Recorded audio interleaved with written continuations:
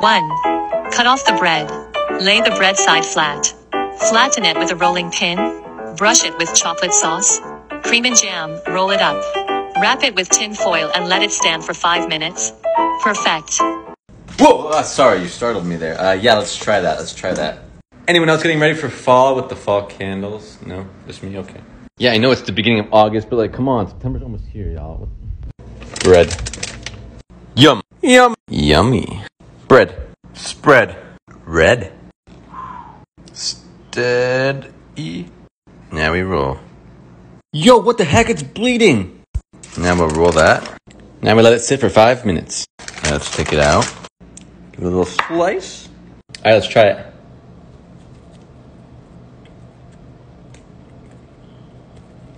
That's pretty good.